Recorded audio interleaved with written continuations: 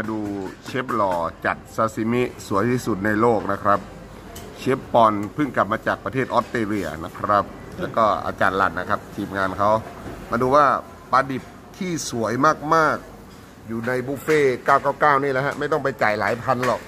มาดูว่าจะสวยขนาดไหนนะครับ อันนี้เป็น pork belly top ด้วยปูดกรอบนะครับบุฟเฟ่ต์999 ครับมาดูกันครับ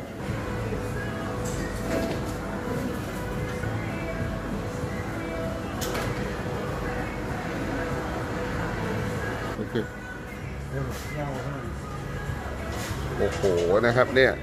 เชฟหล่อทำมาแล้วนะครับอะวางเลย เดี๋ยวจะมีคนสวยๆมายกให้ อันนี้อันนี้อยู่ในบุฟเฟ่ต์อะไรเชฟบอล999โอ้โหนี่ข้าวข้าวทานได้หมดนี่เหรอได้หมด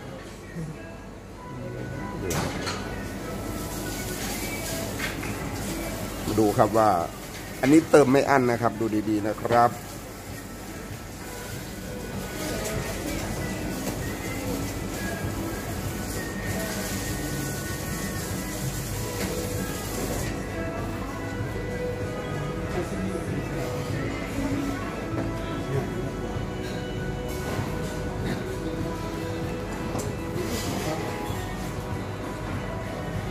ไป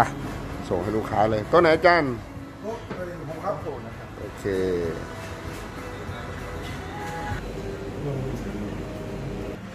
อันนี้เป็นโฮตาเตะอาบูริ on top ด้วยตับห่านนะครับ